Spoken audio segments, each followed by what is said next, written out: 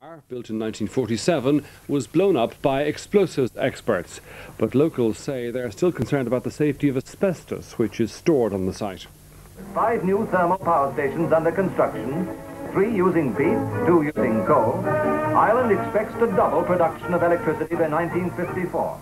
Portarlington was to the forefront of the Midlands industrial development.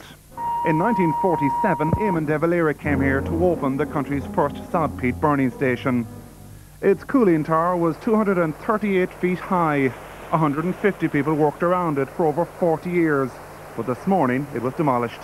Well, it's sad to see it go, you know, but really and truly they had no option but to take it down.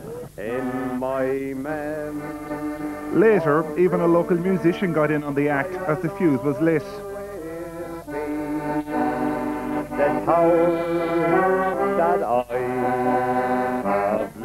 But shortly after half past ten, the area was evacuated. The explosive experts gave the all clear, and 2,800 tons of concrete came crashing down.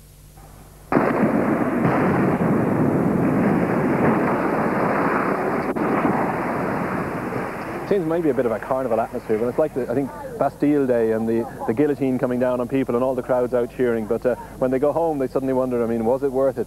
Ah, but now it is gone. Asbestos remains to be removed from the power station, but this morning's events will stay in local folklore. The power that I have loved so well.